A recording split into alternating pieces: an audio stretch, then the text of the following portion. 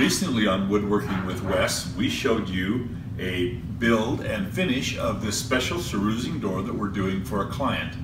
Now today you can see we're at the job site. We're getting ready to install our doors and drawer faces, finish out the trim of this kitchen, and we're gonna show that to you. I won't make you watch me put on all the doors and drawers, but we'll come back afterwards and we'll show you the finished product. What a wonderful kitchen this is gonna be, and we'll let you see it all done. See you then.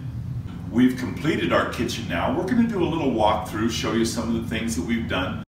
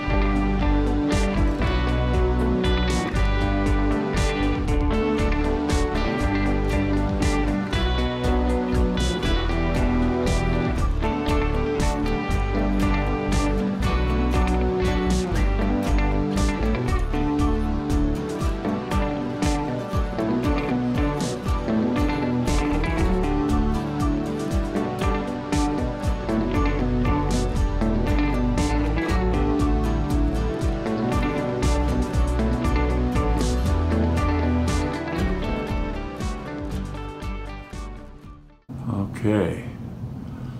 Doors look great on here. That cerusing really makes a difference in the way this kitchen looks. Even though it's a dark color, it doesn't feel dark in the room. It's a very nice color and the texture is just great. Our client picked an excellent hardware. Looks wonderful. We've got all our hardware on. Doors, drawer handles, We've got this nice big island. We've got beautiful drawers in the island. Our nice big end panels. Let me see if I can get far enough away to get a nice view of the end panel for the island. We've got doors on the back side of the island underneath the overhang. This really turned out nice. Thank you for watching as we go through this uh, Cerusing Kitchen final install. We've done a great job. Our client is very happy.